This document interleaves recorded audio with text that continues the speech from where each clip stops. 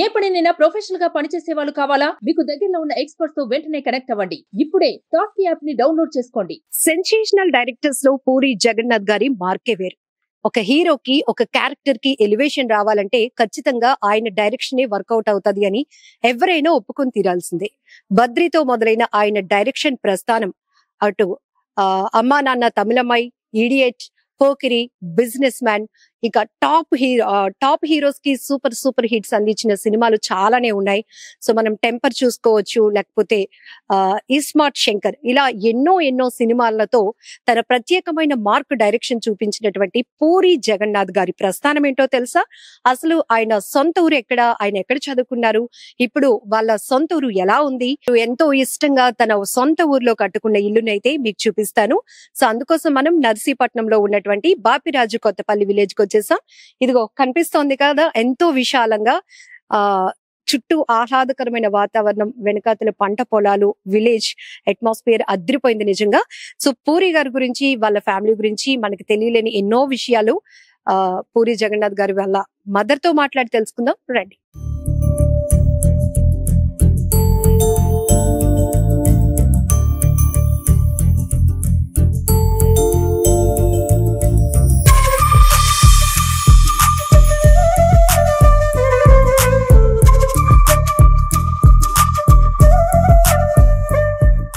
జగన్నాథ్ గారి అమ్మగారు అమ్మాజీ గారు మనతో పాటు ఉన్నారు. అలాగే కజిన్ సిస్టర్ చిన్నప్పటి నుంచి పూరి గారి ఫ్యామిలీతో ఒక మంచి బాండింగ్ ఉన్నటువంటి అంటే సాయి శంకర్ గారితో చిన్నప్పటి నుంచి చదువుకున్నటువంటి జగదీశ్వరి గారు కూడా మనతో పాటు ఉన్నారు. సో చాలా చాలా విషయాలు మనకు తెలియలేనివి అమ్మని అడిగి తెలుసుకుందాం. అమ్మ నమస్తే. నమస్తే జగదీశ్వరి గారు. ఎలా ఉన్నారు? ఎస్ సో చాలా మందికి ఇంట్రెస్ట్ ఎందుకంటే పూరి గారి డైరెక్షన్ అంటేనే ఒక కొత్త ఎలివేషన్ హీరో క్యారెక్టర్ గానీ ఎవ్రీథింగ్. సో అలాంటిది ఆయన సొంతూరు ఎలా ఉంది? వాళ్ళ ఇల్లు ఎలా ఉంది? ఇప్పటికీ అక్కడ ఎవరు ఉంటున్నారు? పూరి గారు వచ్చినప్పుడు ఎలా స్పెండ్ చేస్తారు? ఇలా చాలా విషయాలు తెలుసుకోవాలని అందరికి ఇంట్రెస్ట్గా ఉంది. సో అన్ని షేర్ చేసుకుందామా? ఎస్ సో లోపలికి వెళ్దాం. చిన్నప్పటి నుంచి ఎంతో కష్టపడి పెంచింది ముగ్గురు కొడుకుల్ని. చక్కగా అన్ని చెప్తారమ్మ ఒక తల్లికి అంతకు మించి ఏం కావాలి? అంటే ఉన్న ముగ్గురు కొడుకులు కూడా ఒక్కొక్కరు ఒక్కొక్క రంగంలో వాళ్ళ స్పెషల్ వాళ్ళ ప్రత్యేకత చాటుకుంటున్నారు. మా ఏమనిపిస్తోంది? ఎలా ఉన్నారు? ఒకరే ఉంటున్నారంట కదా ఇక్కడ. ఆ, ఉంటారమ్మా వాళ్ళంతా ఉన్నారు చుట్టూ చుట్టూ ఉన్న వాళ్ళందరూ మన వాళ్ళే అందరూ మనవాళ్ళే. కూర్చుంటాం. ఉమ్, ఇక సాయంత్రం చేసి. అందరూ వస్తారు మా దగ్గరికి. రండి అలా కూర్చొని చాలా విషయాలు మేము తెలుసుకోవాలనుకుంటున్నాం మీ అబ్బాయి గురించి. రండమ్మా. కథలు రాస్తున్నారు అనుకునేవాళ్ళం కాదు స్కూల్లో ఏదో వర్క్ అనుకునేవాడు నాకు బాగోకపోతే వంట నేర్చేసుకున్నాడు వంట చేసేవాడు. నాకు ఒంటి నిండా బంగారం ఉండేది. ఒకటి ఒకటి అమ్మేసి చదివి చాలకు చదివించేసి. ఒక తయారైపోద్ది మూడు రోజులు కానీ ఎవరన్నా వదిలేస్తే. అమ్మ సపోర్ట్ తోనే అప్పుడు ఇండస్ట్రీకి వెళ్ళారు. అమ్మ సపోర్ట్ తోనే పెళ్ళి సో ఫస్ట్ పూరి గారి గురించి చెప్పండి. చిన్నప్పటి నుంచి ఆయన ఇష్ట ఇష్టాలు ఎలా ఉండేవి? ఇష్ట ఇష్టాలు అంటే అమ్మా ఈ సినిమా వాళ్ళ మీదే. ఇంట్రెస్ట్ అంతాను కానీ చదివేకున్నాడు ఉమ్. ఎంతవరకు చదువుకున్నారు? బిఎస్సి అనకాపల్లిలో చదివాడు. అక్కడ ఇప్పుడు నర్సీపట్నంలో లేదు. ఆర్సీఎంలో చదివారు. ఉహు, బొడ్డుపల్లిలో జాయిన్ చేస్తాం పిల్లల్ని. ఆర్సీఎం స్కూల్లో టెన్త్ వరకు. ఇంటర్ నర్సీపట్నాన్ని రెండు సంవత్సరాలు. తర్వాత డిగ్రీ అనకాపల్లి. అక్కడే చదివి బిఎస్ అయింది. అంటే ప్రతి పేరెంట్స్ కూడా నువ్వు బాగా చదువుకోవాలరా బాగా చదువుకుంటేనే భవిష్యత్తు ఉంటదని చెప్తారు. కానీ పిల్లలు ఏదో ఒక ఇంట్రెస్ట్లో ఉంటారు. అది కూడా మీరే. గమనిస్తారు. సో మీరు ఎప్పుడు గుర్తించారు ఆయనకి మేము ఊకట్టి పడాలి.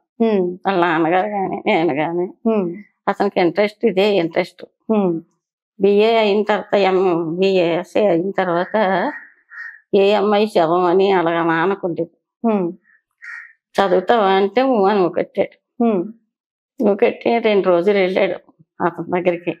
ఇక్కడ కైలాసపట్నం. వెళ్ళమ్మా నాకు ఇంట్రెస్ట్ లేదమ్మా. నాన్న వెళ్ళమన్నారని వెళ్తున్నాను కానీ మరి నీకేమేమి ఇష్టం? ఇంట్రెస్ట్ ఉందా? సినిమాలో ఇన్స్టిట్యూట్లో జాయిన్ అయిపోతాను. ఉమ్, ఇలాగని చెప్పాను. అతనికి ఇంట్రెస్ట్ లేనిది ఏదైనా చదువుతాడండి వాళ్ళ ఇష్ట ప్రకారంగా చేయండి. మీరే ఒప్పించారు. అంటే అయితే అలాగే చేయమని వాళ్ళ నాన్నగారికి ఉంది ఇలాంటి పిచ్చ. అతను చిన్నప్పటి నుంచి డ్రామాలు వేయడం హరిశ్చంద్రకి లోహిదాసుడి కింద వేసి దగ్గర నుంచి అతనికి ఉంది పాలేరు సినిమాలు ఇక్కడ ఊళ్ళో నాటకాలు అవుతాయి కదా. అప్పటి నుంచి. అతని ఇంట్రెస్ట్ ఇతనికి వచ్చింది. అప్పుడు అక్కడ జాయిన్ చేసాం హైదరాబాద్లో. ఉమ్, ఇన్స్టిట్యూట్లో.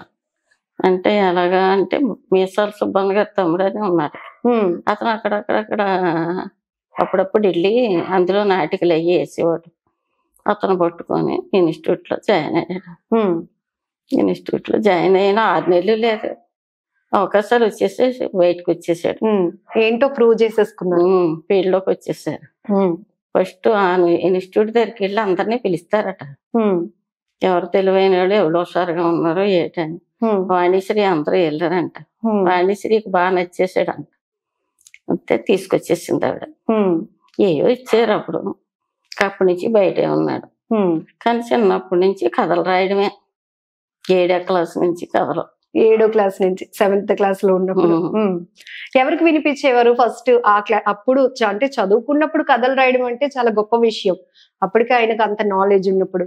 అమ్మా నేను ఈ కథ రాశానని ముందు మీకు చెప్పేవారా? వాళ్ళ నాన్నగారికి చెప్పేవాళ్ళ? కథలు రాస్తున్నారు అనుకునేవాళ్ళం కాదు మేము. స్కూల్లో ఏదో వర్క్ అనుకునేవాళ్ళం. హోంవర్క్స్ చేసేస్తున్నారు అని అనుకునేవాళ్ళు. పక్కన మా పక్కనే ఒక మనసు గారు ఉండేవారు అతను మా ఆయన మనసుగా. అతను లక్ష్మీపురం మనసు గారు. అతను అస్తమానం వచ్చేవాడు కాదు ఇల్లు అంటే ఉంది కానీ రూమ్ తాళం నాకు ఇవ్వండి అలాగని ఇద్దరు అనుకొని పుచ్చుకున్నారు. ఆ రూమ్లో పోయి రాసుకునేవాడు ఏంటంటే వర్క్ అనేవాడు. హోంవర్క్ అప్పటి నుంచి కథలే. అవన్నీ స్టోరీలు అన్ని రాసుకుని ఉమ్. స్కూల్ రోజు వాన చదివేవాడు. ఆర్సీఎంలో చదివేటప్పుడు నైన్త్ క్లాస్ చదివేటప్పుడు కథ రాసి ఫాదర్ గారు చూపెట్టారు. చూపెడితే చాలా బాగా రాసావు ఎంత చిన్నవాడు అయినాను మరి ఇది నాటికి వేయగలవా రేపు యూనివర్సిటీకి అని అడిగారు. వేస్తానంటాను.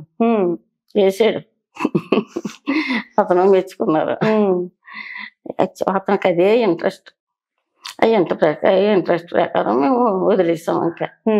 ఇంట్రెస్ట్ లేకపోతే చేయలేరు కదమ్మా. ఏ వంటలు అంటే ఇష్టం? మీ చేతితో ఎక్కువ అమ్మ ఇది చేసి పెట్టు అని ఏం అడుగుతా ఉంటారు? కాయగూరలు. కాయగూరలు ఎక్కువ.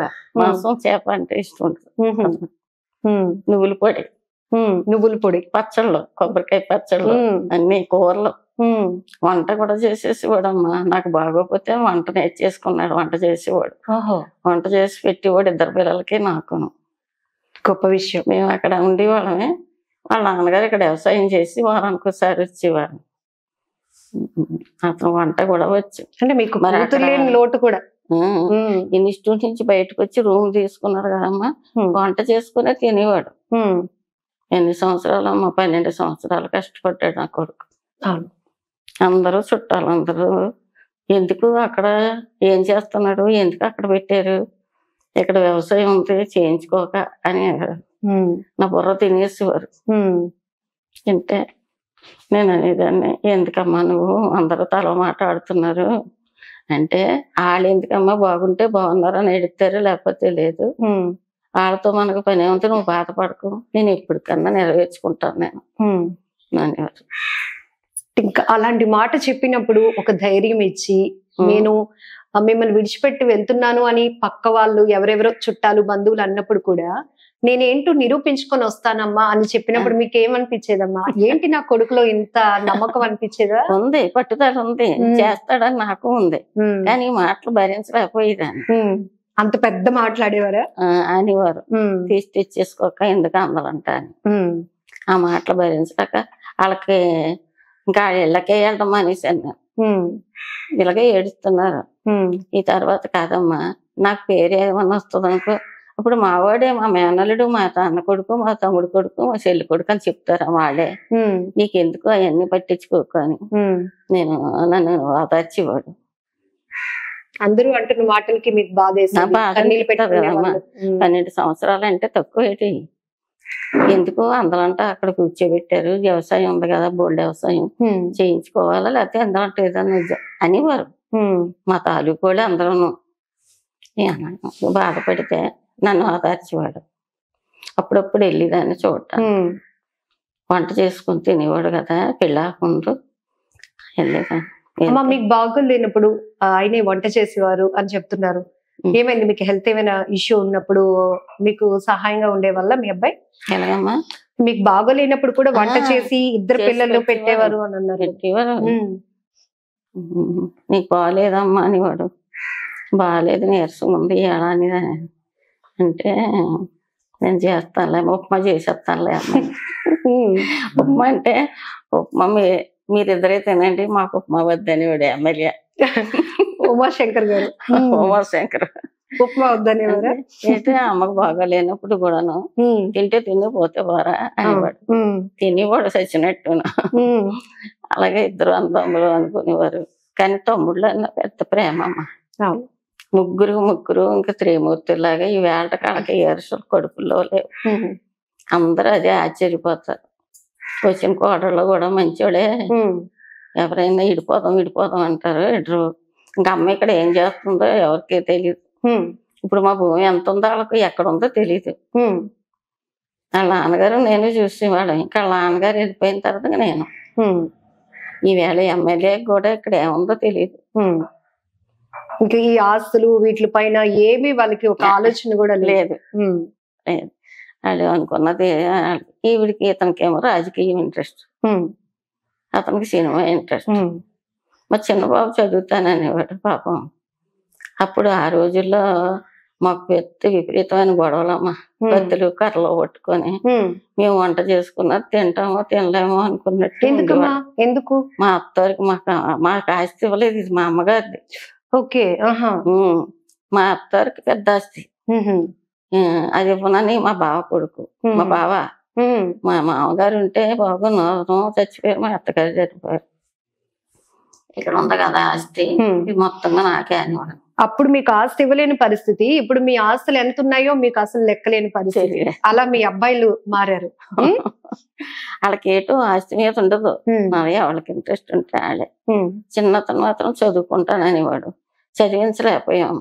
ఉమ్, వాడు seventh first class tenth first class. మరి డిప్లొమా ఫస్ట్ ఎమ్మెల్యే గారు ఏం చదివారు? ఈ అబ్బాయి డిప్లొమా చదివి మళ్ళీ. డిగ్రీ చేసాడు ఈ అబ్బాయి ఉత్తరామేరీలో చదివాడమ్మా.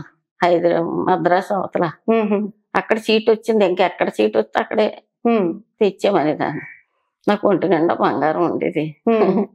ఒకటి ఒకటి అమ్మేసి చదివించారు వాళ్ళకి చదివించేసి. సూపర్ అమ్మ సూపర్. వాళ్ళ నాన్నగారు ఇక్కడ గొడవలతో ఉండేవారు. నేనే అక్కడ పొడ్డు పిల్ల ఉండి మన పక్కనే బ్యాంకులో కుర్రోడు ఉండేవాడు పైడిపాల. కన్నగారు అబ్బాయి అతను సహాయం చేసేవాడు. అతనికి వస్తువు ఇచ్చేదాన్ని. అవి పెట్టి ఉత్తరం రాశారమ్మ అప్పుడు ఉత్తరాలే ఇవి సెల్ అయ్యలేవు ఉత్తరం రాశారు. నేను పంపిన డబ్బులు చాలలేదని మరి ఏం చేస్తారు? ఇది పెట్టి తింటంటే పాపం తెచ్చి ఇచ్చేవాడు బ్యాంకులో పెట్టి. అలాగే బంగారం అంతా అమ్మాను వాళ్ళ కోసమే మళ్ళీ మా పెద్ద అబ్బాయి ట్రైన్లోకి వచ్చాక అమ్మ ఎంత బంగారం అమ్మింది. ఒక కేజీన్నర ఉంటుంది బంగారం మా అక్క పెట్టేసింది. అమ్మకి ఏం కావాలంటే అది వచ్చినప్పుడల్లా కొని బాడీతో చెప్పాడు. సూపర్ కదా. ఆవిడే కొనిది. అతనికి ఎంత గుర్తుంది. అసలు మా అమ్మ మమ్మల్ని ఎలా చదివించడానికి ఒంటి మీద. బంగారం ఇచ్చింది. ఇప్పుడు బంగారంలా మా అమ్మని చూసుకోవాలని వాళ్ళ వైఫ్కి చెప్పడం అనేది ఏమా? ఆవిడే కొండ కొన్నది మళ్ళీ నాకెందుకమ్మా కొనకమ్మా అని కొని కొని వెళ్ళి మా మనవరాలు ఉంది కదా మనవరాలకి ఇచ్చేసాను. ఎప్పుడు వస్తుంటారు ఊరు? అసలు ఇప్పుడు మీరు చెప్పినట్టు ఎక్కడ భూములు ఉన్నాయో తెలియదు ఏమి తెలియలేని పరిస్థితి. ఇక్కడికి ఎప్పుడు ఫోన్ వస్తుంటారు చేస్తాడు కానమ్మా అప్పుడప్పుడు. కానీ రావడం ఒక తక్కువ. ఆ ఎమ్మెల్యేకి దెబ్బ తగిలితే వచ్చాడు. యాక్సిడెంట్ అయింది కదా అప్పుడు వచ్చాడు చూడటానికి. తర్వాత మళ్ళీ పూజ ముగ్గురు పిల్లలు చెయ్యాలా బాగలేదని మా వీళ్ళకి నమ్మకమైన సిద్ధాంతం ఎవరంటే హైదరాబాద్లో ఉన్నారు అతను ఏం చెప్తే అదే. ఆ రాజమండ్రి నుంచి పంతులు వచ్చి రోజు మూడు రోజులు చేశారు. అప్పుడు వచ్చాడు. మరి పూరి గారికి ఇంట్రెస్ట్ లేదా? రాజకీయాలంటే వాళ్ళ నాన్నగారు కూడా చాలా. చేశారు కదా మునసబ్గా చేశారు. ఎప్పుడైనా అడిగారా? ఇంకేంటి ఉంటది? సెవెంత్ క్లాస్ నుంచి హోంవర్క్ అని చెప్పేసి సినిమా రైటింగ్ ఖాళీ ఉంటే రాసుకోవడమే. ఎక్కువ మాట్లాడడం. ఒక తయారైపోద్ది మూడు రోజులు కానీ ఎవరన్నా వదిలేస్తే. మూడు. రోజుల్లో ఒక స్టోరీ అయిపోతుంది. ఎవరన్నా అడిగితే ఇది ఇదే నా ఆస్తి అనేవాడు కథలు. ఆ కథలన్నీ తీయాలా నేను. అదే నా ఆశ అలాగే ఫస్ట్ తీసిన సినిమానే హిట్ అయిపోయింది బద్రీ సినిమా. అప్పుడు ఏమనిపించిందమ్మా అంటే నా కొడుకు ఇలా హైదరాబాద్ వెళ్ళారు ఆ, సినిమా ఇండస్ట్రీకి ఇంతలాగా నిలదొక్కుంటారు అని అనుకున్నారా లేదా అప్పటికి? అలా ఏమనిపించింది? ఏమనిపించేదంటే ఇప్పుడు ఇంక ప్రజల మాటలు ఉమ్, వచ్చి వెళ్ళాను. అప్పుడు పిల్లలు పుట్టారు మా బాబుకి పెళ్ళి చేసేసుకున్నాడు. చేసుకుంటానమ్మా అన్నాడు. మరి చేసుకునే పరిస్థితిలో లేవు. ఇక్కడ కత్తులు కర్రలు పట్టుకొని తిరుగుతున్నారు. నీ పని నువ్వు చేసేసుకో పర్లేదు. మనకి ఎవడ ఆస్తి వద్దు అంటే చేసేసుకున్నాడు. చేసుకుని నాకు మళ్ళీ ఫోన్ చేశాడు.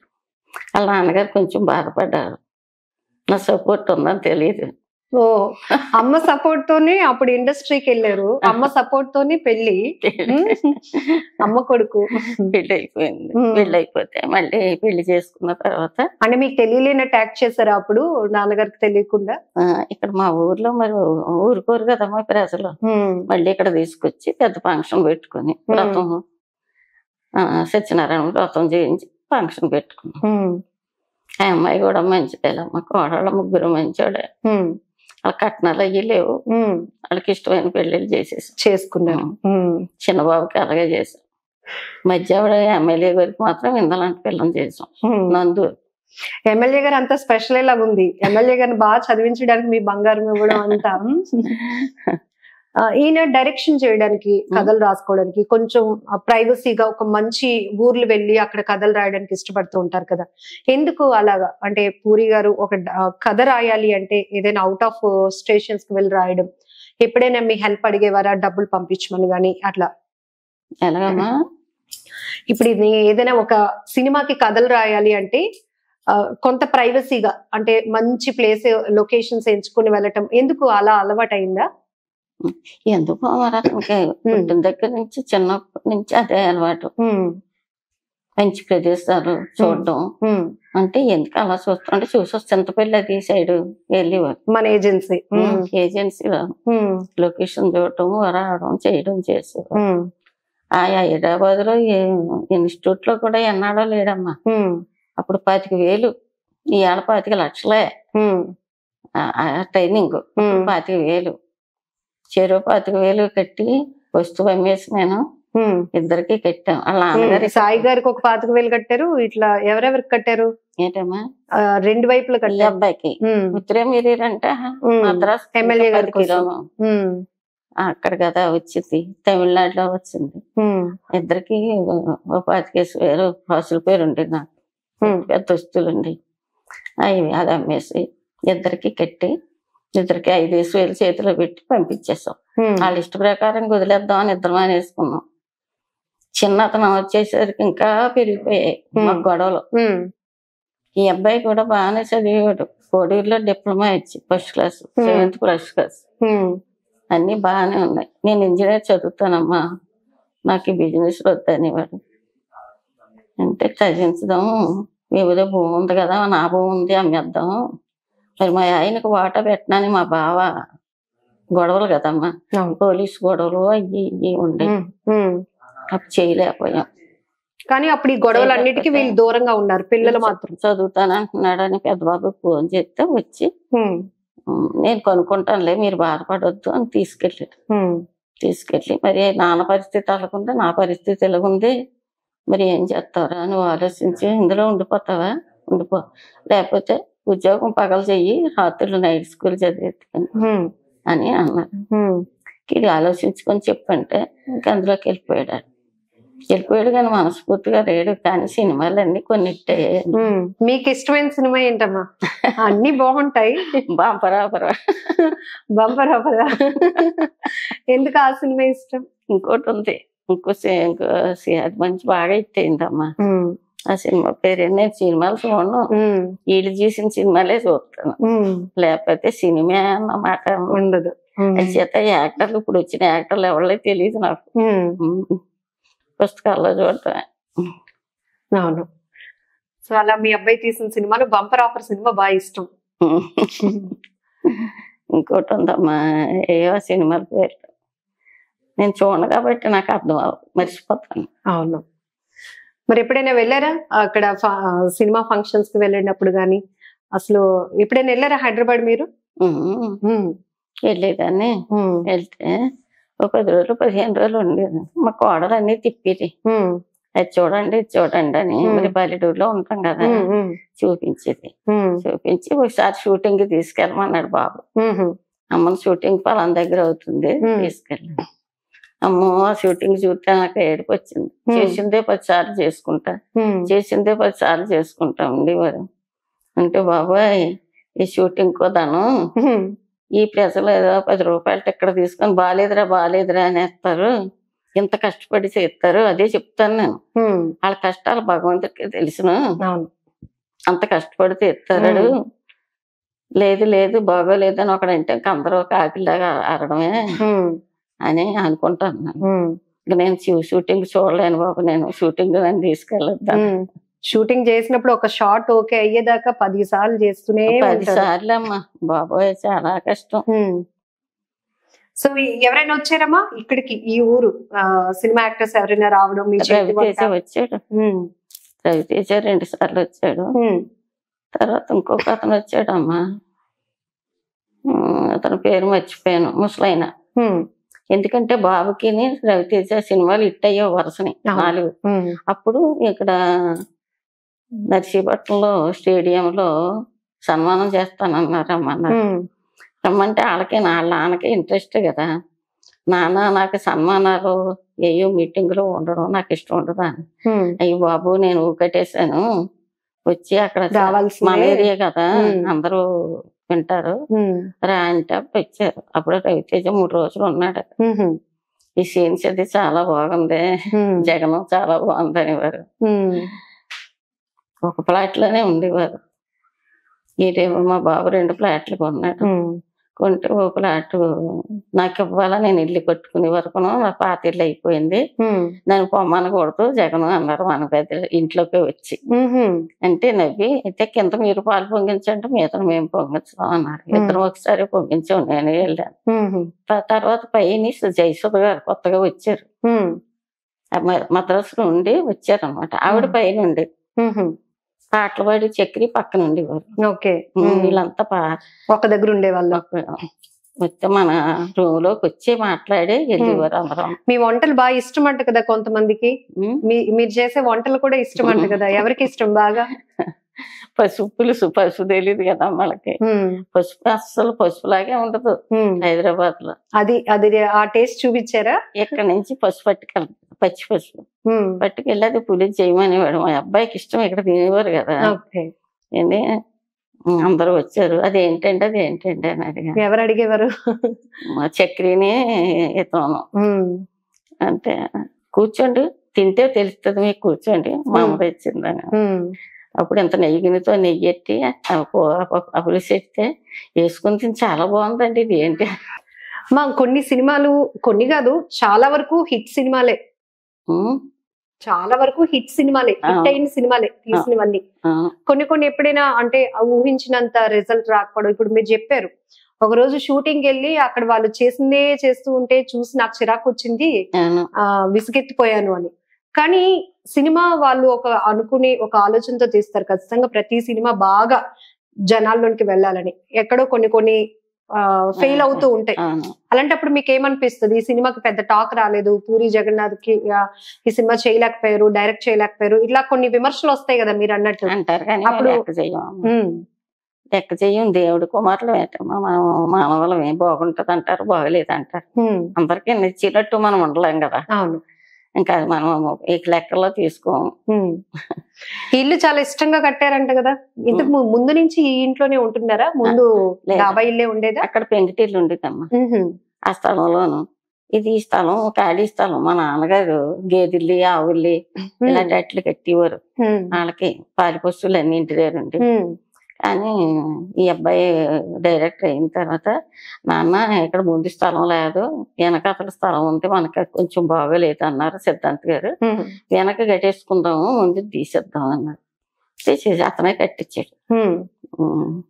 మేడ మీద ఉన్నాయి రెండు గదులు ఎంత ఎందుకు ఎంత ఇల్లు ఎందుకమ్మా? అని మీరు ఎక్కడెక్కడో ఉంటారు.